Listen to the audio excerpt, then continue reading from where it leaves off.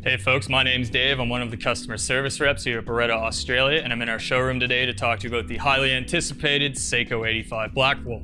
So the Black Wolf is built on the Sako 85 series action. It's available in three different action lengths. It's available in short, which is your 308 type cartridges, your medium length, which is your 270 type cartridges, and your long, which I'm holding here, which is your 300 Win Mag type cartridges.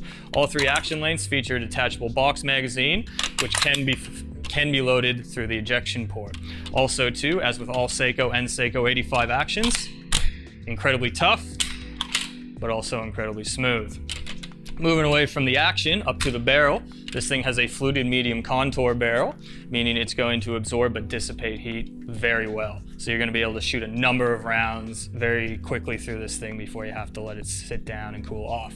Also too, it's a cold hammer forged barrel, meaning this thing is tough. So it's going to be good for hand loaders who want to develop loads, collect data, but don't want to have to worry about burning up their barrel life. Also too, the Black Wolf features a muzzle thread standard from the factory. Moving away from the metal stuff down to the stock, the Sako 85 Black Wolf features a black laminate stock with a pistol grip, which is going to help with both your trigger control and help mitigate recoil. Also too, a really good feature on the Black Wolf is the adjustable cheek piece, which can simply be adjusted by pressing a button and move it, moving it to your adjusted or desired height.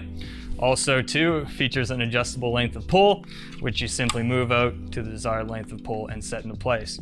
To set back to home, simply push the button in, push it back to home, same with the cheek piece. So that's a quick overview of the Sako 85 Black Wolf. For more information, visit our website, berettaaustralia.com.au.